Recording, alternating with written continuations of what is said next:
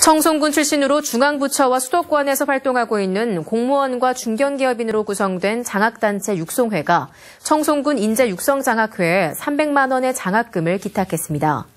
육성회는 지난 2003년부터 지금까지 5,500만 원의 장학금을 기탁하며 인재 육성에 나서고 있습니다. 청송군은 지난 2005년부터 내년까지 100억 원의 장학기금 모금에 나서고 있는데 현재 90억 원을 모금하고 있습니다.